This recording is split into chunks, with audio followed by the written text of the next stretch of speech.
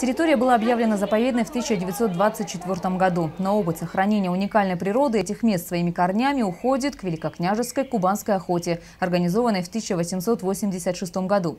Изначально заповедник назывался Зубровым. Его основатель Христофор Шапошников возражал против слова «зубровы», считая, что это приведет к быстрому истреблению зубров бандитами, браконьерами и прочими лицами, которым заповедник не выгоден. В целом же задачей заповедника стало сохранение для научно-исследовательских целей в горах Западного Кавказа, горных лесов и альпийской полосы с населяющими их редкими животными и растениями. За свою историю заповедник 9 раз менял ведомственное подчинение. В 1979 году Кавказский государственный природный заповедник получил статус биосферного и пополнил международную сеть биосферных резерватов.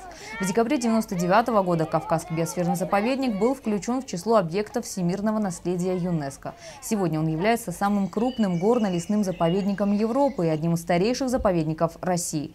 На экскурсию по Тисо-Самшитовой роще приехали сотрудники заповедников со всей страны. Каждый хочется посмотреть, а как у меня, а как здесь, а как там. Вот я так работаю, а я вот посмотрю, а как вот здесь работают. Это тоже каждому интересно.